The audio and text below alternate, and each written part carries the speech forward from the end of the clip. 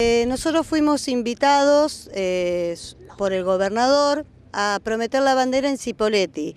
Nos pareció un acto muy lindo de poder realizarlo, de poder llevar a nuestros chicos que conozcan desde Bariloche en adelante. Así que con los papás los hablamos y decidimos que íbamos a viajar. Eh, organizamos todo lo que lleva una organización de los niños, de los seguros, de todo lo que hace falta y en el transcurso de la semana pasada eh, empezaron a haber cambios, que los chicos viajaban a tal horario, no teníamos confirmados los horarios, dónde se quedaban, hasta que el día viernes a las 12, un ratito antes de irnos, eh, se confirma que viajábamos hoy a las 12 de la noche, con el peligro que implica nuestra ruta viajar a esa hora.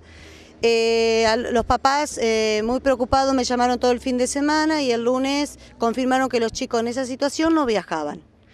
Eh, se volvió a hablar de nuevo con personas de la municipalidad, con personas de educación y se logró que se viajara hoy a las 12 del mediodía. Anoche nos confirman de que los chicos mm, iban a ir a parar al polideportivo donde se promete la bandera en Cipolletti que bueno, al nosotros tener quizás frazada y eso no nos hicimos problema.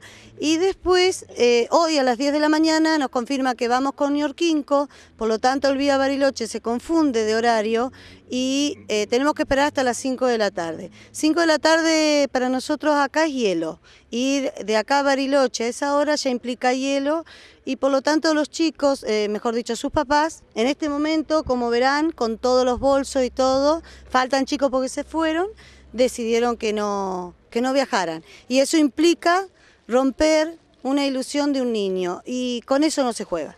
Con los niños, eso sí que no se juega. ¿Cuántos chicos iban a estar viajando? Iban a estar viajando 10 alumnos y 6 abanderados porque va la bandera argentina y la bandera de Río Negro.